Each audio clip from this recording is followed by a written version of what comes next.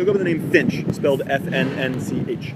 So this mural is on an unmanned PG&E substation, and I live around the corner from here, and I walk my dog by it every day. It just gets covered in graffiti all the time, and PG&E doesn't maintain the building like super super often, and I got kind of frustrated, and so I reached out to them uh, to see if I could paint a mural on it. Uh, murals tend to deter graffiti; they can be tagged over, but by and large they aren't. The challenge with PG&E is that there's no they don't have a process. It's not like you go to pgne.com slash mural. So I eventually got in contact with someone in a position to kind of push through the red tape. After a few months of working with them and showing them renderings and talking to local businesses, they eventually said yes.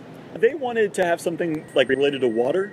They generate about 85% of their electricity from hydroelectric sources, and also we're in a drought, and so they thought it was sort of a timely, appropriate theme. And I paint some sea creatures. I've painted some starfish and some squids and some lobsters, and so a turtle was kind of in the in the vein of what I was already painting. And so I proposed this as a as a mural, and they accepted.